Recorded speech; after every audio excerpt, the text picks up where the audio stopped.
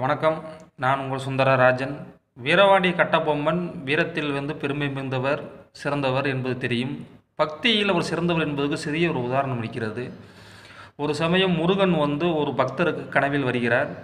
நீ வீரபாண்டியிடம் செல்லு வீரன் கட்டபொம்மன் சென்று அவரிடம் ஆசி பெறு உனக்கு கண் பார்வை வந்துவிடும் என்று கனவில் வந்து முருகன் சொல்கிறார்.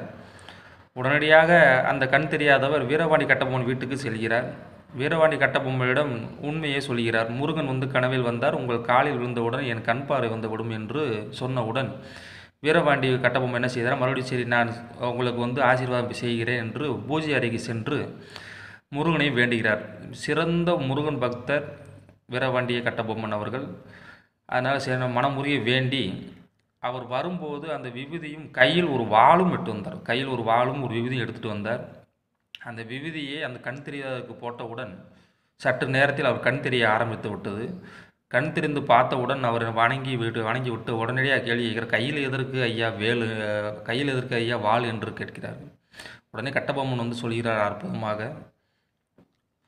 உங்களுக்கு ஒரு வேளை கண் பார்வை வரவில்லை என்றால் என் பக்தி வந்து பொய்யானதாகிவிட்டது என்றால் நான் வாழ்வது வீண். அதனால் என்னையே நான் வெட்டி வந்து மாய்த்து விடவே நினைத்து தான் வாள் எடுத்து வந்தேன். ஆனால் என் முருகன் என்னை கைவிட கைவிடவில்லை என்று கட்டபொம்மன் சொல்கிறார். அப்போ எவ்வளோ பக்தியுடன் இருப்பார் என்று பார்த்துக்கொள்ளுங்கள் வீரவாண்டி கட்டபொம்மனில் நடந்த ஒரு விஷயத்தை நம்ம கற்றுக்கொள்ள வேண்டும். இன்றைய மாணவர்கள் நன்றி வணக்கம்.